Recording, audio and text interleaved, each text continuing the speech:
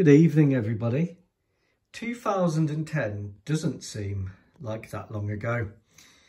It is, however, quite a long time ago. 2006, of course, is even further away. And that was when the United States Navy retired the mighty Tomcat. Now, in my what if universe, the Malagasy Fleet Air Arm kept the Tomcat flying until the Rafale replaced it in 2015.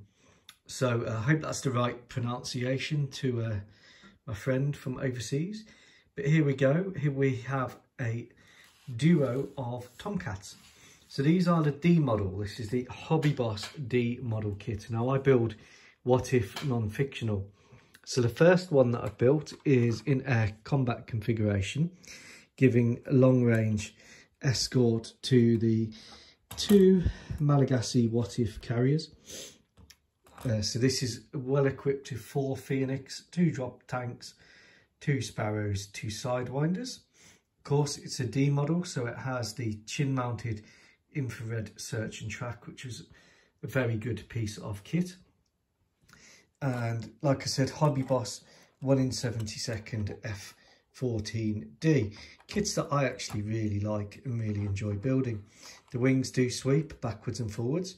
It doesn't have the wing glove extension because it's a D model. And that one is air combat fit.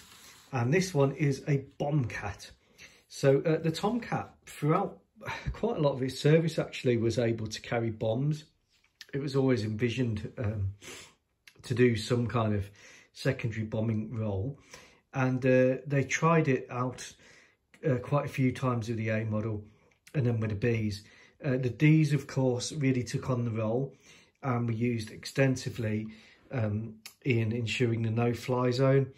And then uh, the actions in 1998 in Iraq and then uh, Operation Iraqi Freedom, as it was called, um, in 2003. So by that time, the Tomcat had really taken on much more of a strike and reconnaissance role, and it could do um, it all very well.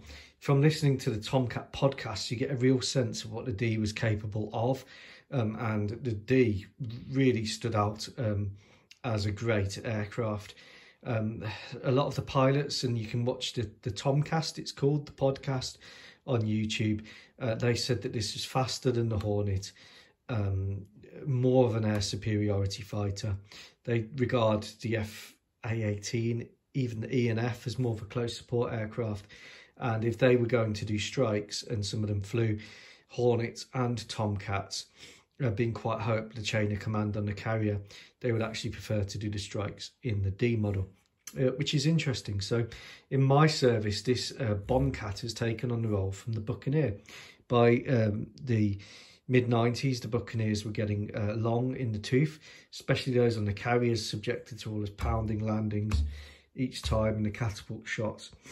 So uh, with an abundance of D models uh, in service and only two carriers uh, for the Malagasy Fleet Air Arm, they went down the Bombcat route.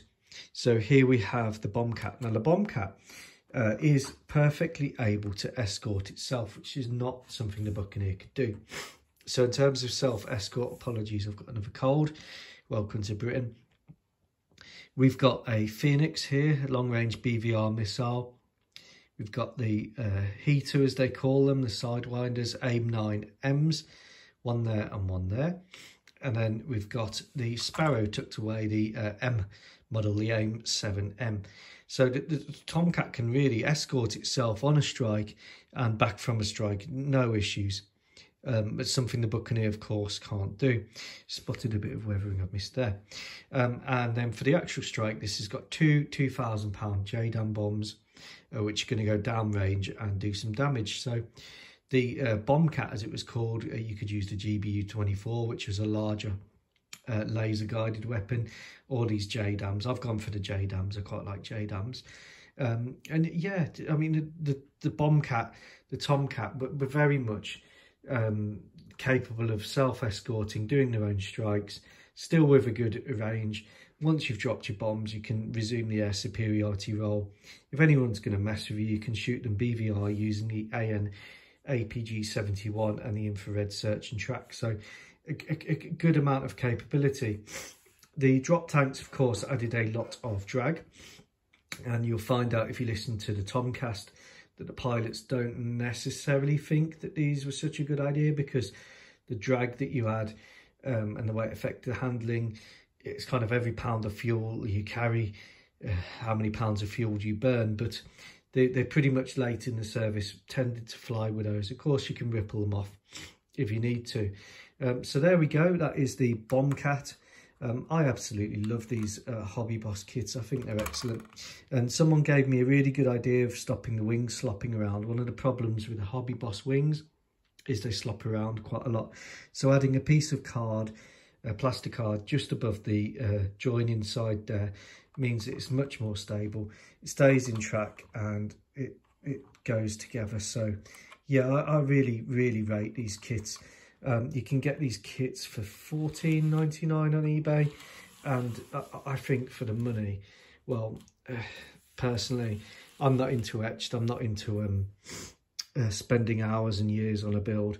Uh, I, I, really like these and I've got a few more plans for the Tomcats. So let me know what you think. And again, look at that. Bombs and Phoenix on one aircraft. The mighty Tomcat.